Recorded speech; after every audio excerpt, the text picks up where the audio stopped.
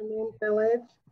It is once again great to see each and every uh, one here this morning. It is truly, truly, truly uh, a blessing. And I just must say offhand, I have never been caught in rain and just had my hair flop the way it did. So I was a little worried I was going to show up before y'all this morning.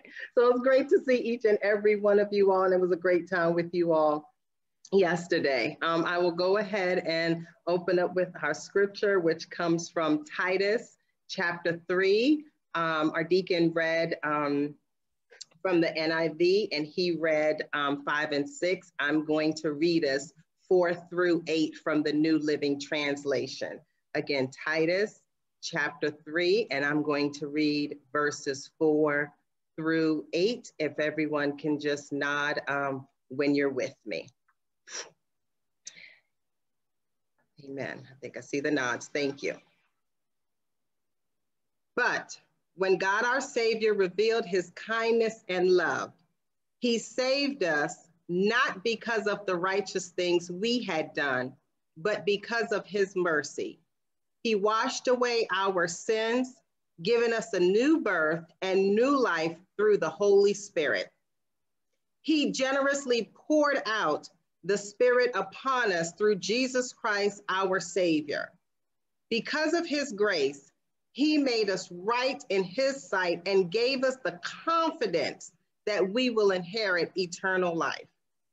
This is a trustworthy saying, and I want you to insist on these teachings so that all who trust in God will devote themselves to doing good. These teachings are good and beneficial for everyone. Church, let's bow our heads. God, I just want to thank you for just how you've already shown yourself, not only in this worship service today, but also in our gathering yesterday. God, I just want to thank you for um, everyone that is here today. God, I want to thank you for using me in such a mighty way to deliver your word.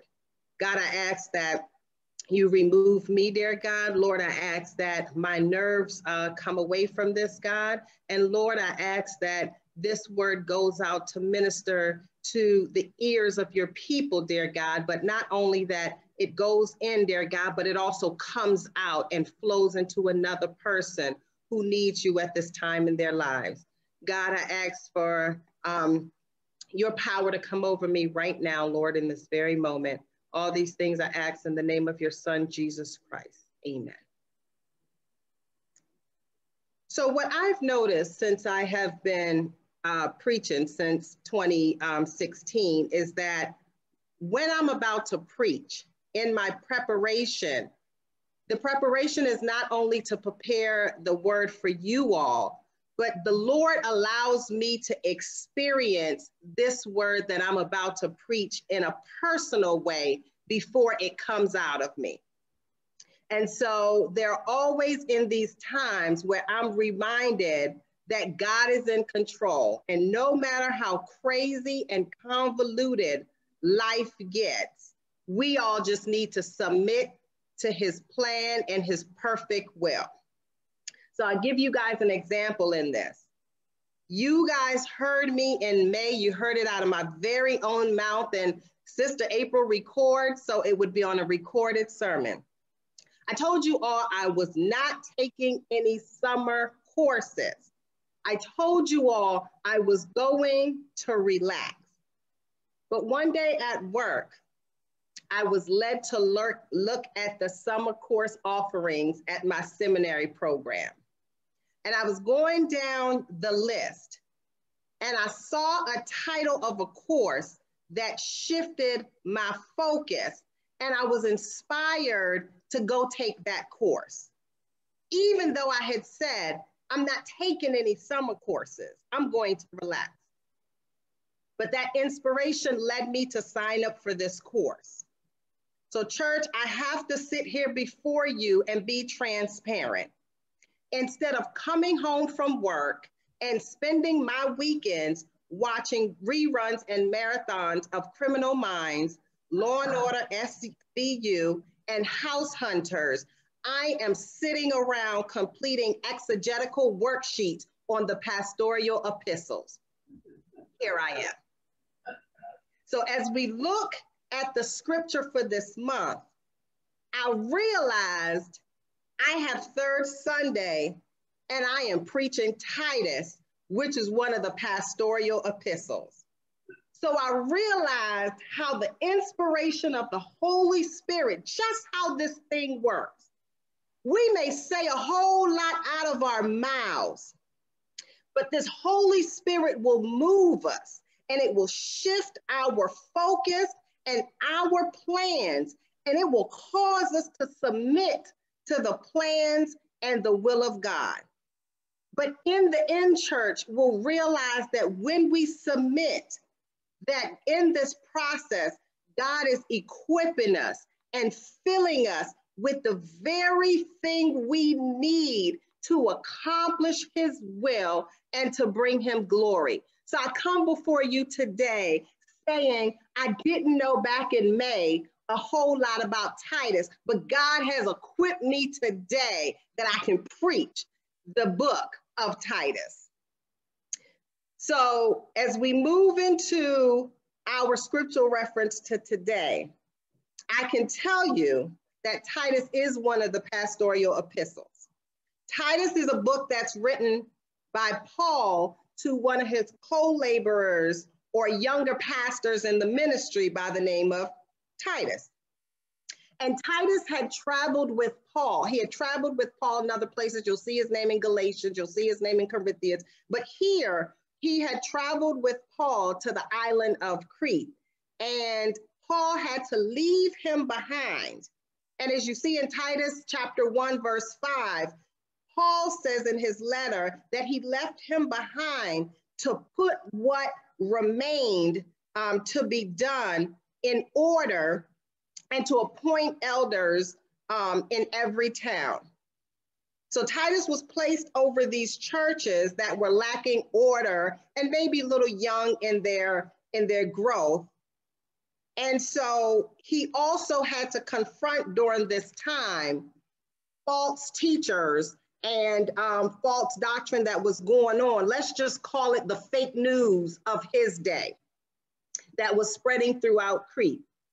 And so Paul writes this letters to advise Titus and to encourage Titus in this work. And it looked like this encouragement was definitely needed because if we see in verse 12 of chapter one, the people of Crete didn't, uh, didn't have the best of reputations. Paul quotes a prophet, one of their very own, when he states that the Cretans are always liars, vicious brutes, and lazy gluttons. I read that and said, boy, Titus had his work cut out for him. but see, as we pick up at verse three, not only was Titus dealing with all of that, but Paul was also encouraging him to talk to the people about living a life that is reflective of God, live a life that is pleasing to God. And so, chapter 3, verse 1 and 2 opens up and it states to remind them to be subject to rulers and authorities, to be obedient, and to be ready for every good work to speak of no one, I'm sorry, to speak evil of no one, and to avoid quarreling, to be gentle, and to show every courtesy to everyone. And so Paul even takes it one step further and tells them why they should do such a thing, why they should be motivated to and inspired to do such a thing. Paul goes in and says, because we ourselves were once foolish, disobedient, led astray slaves to various passions and pleasures, passing our days in malice and envy, despicable and hating one another. But here's the good news, church. But when the goodness and loving kindness of God, our Savior, appeared. He saved us, not because of any work of righteousness we had done, but it was according to his mercy and through the water of rebirth and the renewal of the Holy Spirit. Paul was saying in this section that our inspiration, the thing that should motivate us to aspire to all that's written in chapter 3, verse 1 and 2, why should we should aspire to live a life that's pleasing to God is because we are the recipients of God's grace. It is grace that should cause us to do any and all things that God calls us to do because it is His grace that has saved us and lifted us up out of this dark place where we could be suffering eternal death. It is because of that that now we should go out and be able to do all that God has called us to do. It is this grace that keeps us from, again, eternal suffering and the separation caused by sin. We have been delivered and transformed by the work of Jesus Christ. And he, in obedience to God, he came with the message of the as the message of the good news. And when we receive him through faith, we are able to be brought back to God. And Titus 3 6 says, His spirit was poured out richly through Jesus Christ, our Savior. Is that having been justified by grace, we become heirs according to the hope of eternal life. It reminds us that we are here today not because of anything we have done.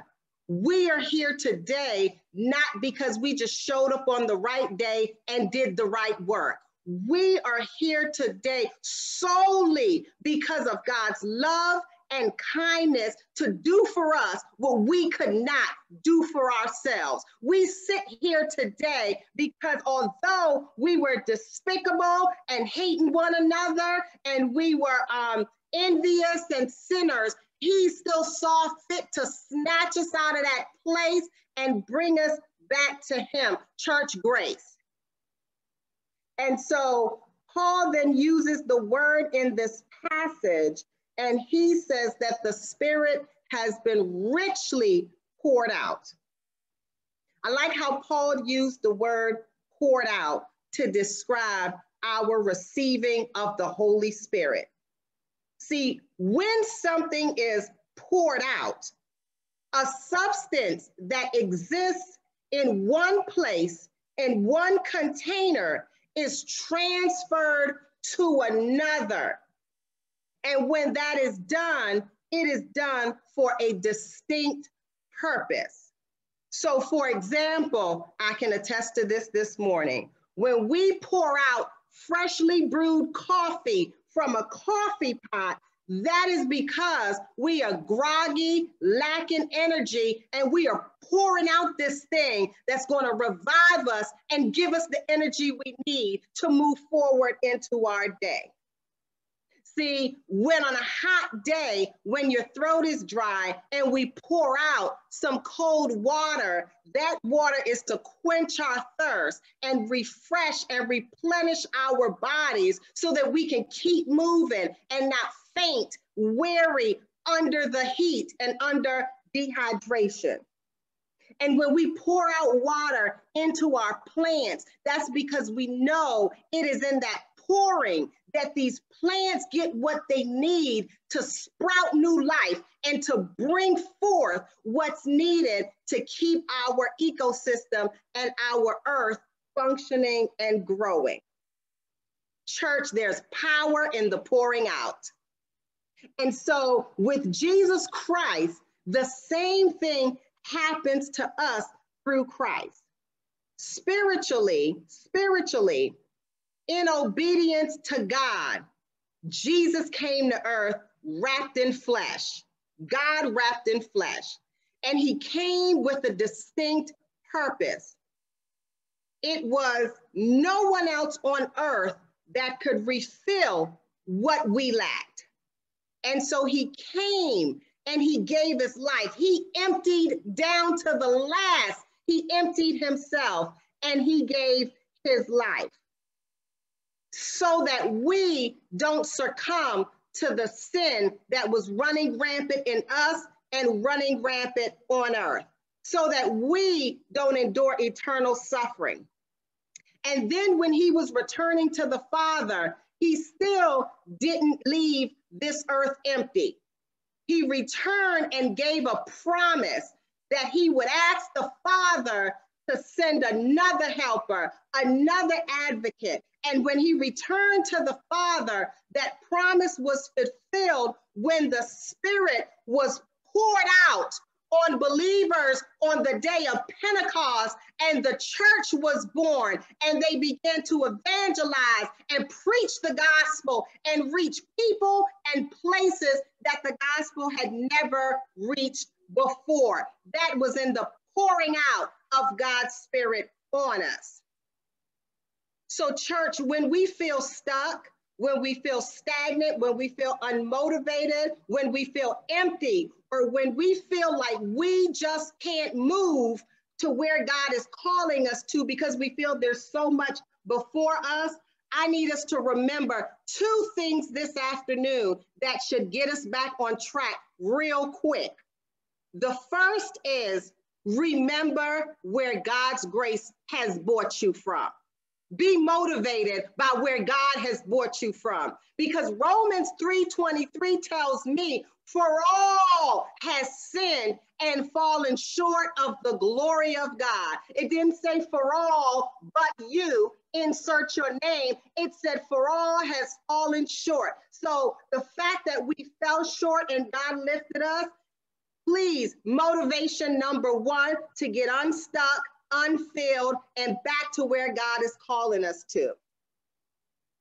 My second point would be that to remember that God's Spirit is poured richly out on us when we accepted Jesus Christ in faith.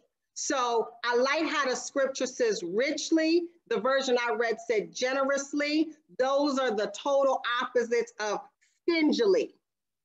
It didn't say that God was stingy with what he poured out on us. It said it was rich and generous. Through the sacrifice of his son, he fulfilled the promise to pour his spirit out on us. So that brings me to today's title poured out for a purpose. Poured out for a purpose. Church, all that I've just said to you in going through leading up to now, this is our inspiration. This is our motivation. This is what causes us to beat back and kick down everything that the devil puts in our way and tries to keep us stagnant, stagnant, stuck, and us feeling like we don't have what it takes. This is the motivation that we need to carry into the world and to pull up others and to win souls for the kingdom. And this is the motivation we need to live lives in obedience to God when the devil will try to trick us to say it's too hard to live the way God called us to. It's not. We have the motivation that we need. We should be inspired by God's pouring out through Jesus Christ and his spirit and, and all that we have experienced because of God's grace.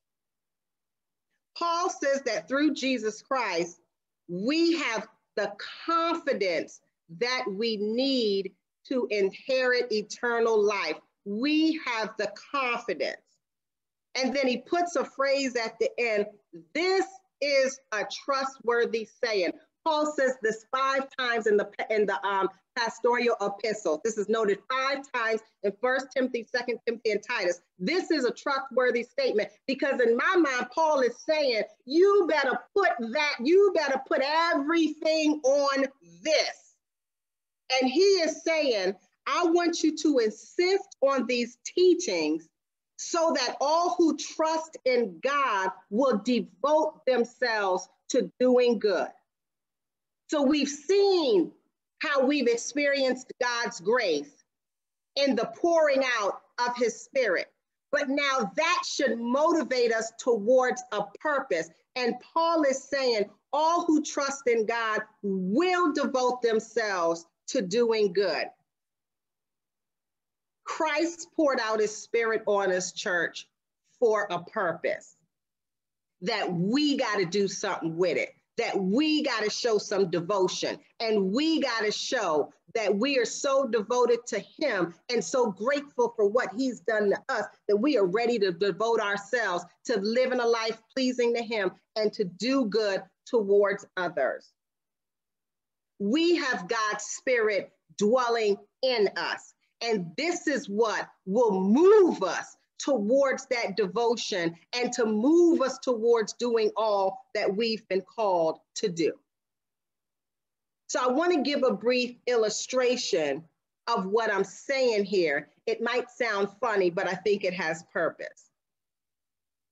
So people don't know this, but I have a favorite soda. If you want to put a smile on my face, I have a favorite soda. It is a cherry vanilla Coke Zero. I don't see them often. I see the cherry vanilla Coke. They don't, not all people carry the zero. So I love a cherry vanilla Coke Zero. Not just a regular Coke Zero, not just a cherry Coke Zero. It must be a cherry vanilla Coke Zero. So on Sunday after service, I went to Giant. And not only did Giant have 20 ounce bottles of cherry vanilla Coke Zero, but church, they were on sale. So I excitedly snatched up a six pack for myself. And I said, I guess I can't go empty handed. So I got um, a regular cherry vanilla Coke Zero for Scott as well. So as I brought them home, I was so excited to have them because I said, I'm going to have one with dinner. When dinner came, I excitedly grabbed my glass and I filled it with ice because I like it cold. And as I was preparing to pour out my soda into my glass, here comes Maya. And Maya walks into the kitchen and without saying a word, she too goes and grabs a glass and she too hits the ice maker on the refrigerator. And she came and stood right next to me with this glass unfilled. Having not exchanged no words, but kind of observing what was going on with my daughter, I realized that she wanted some of my soda. She wanted some of my prized cherry vanilla Coke Zero. But without hesitation, because I love her, I proceeded to pour some of my cherry vanilla Coke Zero into her cup that had the ice in it. And I saw the flavor go in and I saw the bubbles fizz up, that power that's contained in the soda. And then I let it settle a little bit. And I gave her a little bit more and it fizzed back up. And then I turned to my cup and I began to pour the remainder in my glass. But as I looked up, I realized that Maya hadn't moved. Instead of moving forward in acknowledgement and excitement of what I had just poured in her cup, without even having to ask, beg, or plead, she didn't move forward. She's not celebrating the greatness that's in her cup. Matter of fact, she's standing there holding that cup before me, looking for more in spite of what I've poured into that cup. She's standing there allowing the carbonation to settle and she's standing there allowing that flavor to get diluted by ice because she won't move forward. Church, I looked at her in my frustration and I said, Go eat your dinner now. But before we shake our heads and judge Maya, I think it's time that we put ourselves under the microscope. See, because we too came before God empty, lacking, and having sin run and rule our lives. And God observed our motions. He observed our actions, and without nothing being said, God had a plan to fill our cups. And so God sent his beloved son to die on a cross on a Good Friday, dying a criminal's death, an innocent man on our behalf. And God lifted him up out of that borrowed tomb and he rose again and God ascended him back to heaven, but not to leave us alone.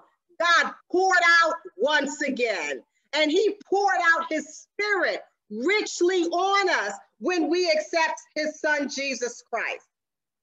We see this and prophesied even before Jesus, where Joel 2:28 says that God says that I will pour out my spirit upon us all. And then, bear with me, church.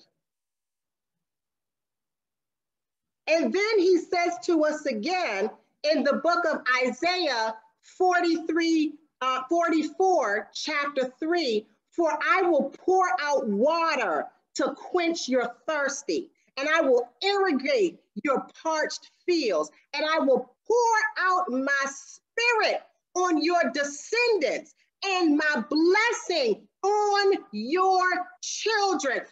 Church, this wasn't a last minute plan. This was prophesied way before. And so, God, through Jesus Christ and the Holy Spirit, is the execution of God's word that was going to be fulfilled in Jesus Christ. And so, church, it is because of God's grace and his mercy shown through Jesus Christ that we should not be standing around acting like we don't have enough. We should not be standing around acting like we are empty cups. We should not be standing around diluting this power that is held within us. We should not be standing around allowing that flavor, that salt to get run amok and pulled away by the schemes of the devil. Church, you got a flavor, you got a power. It has been poured richly into you, and God's Spirit has been poured into you, not to stand around. Get moving. There are souls out there who needs God.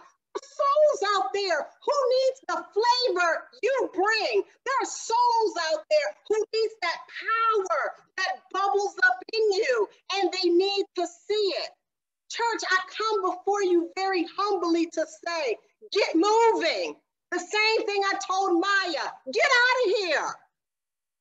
We got to get moving, telling the good news, telling what God has done for us, telling how all week we had a weather report that said the rain was going to start at one and two, and that rain didn't break open until four o'clock when the picnic was open. Tell somebody how God changed the weather report for his people because it is that message that's going to bring others and win souls. Church, I'm going to tell you right now, I leave you with three points. Be prepared, praying for God to use us and to show us how we can serve Him. Everybody has a role. Everybody has a role.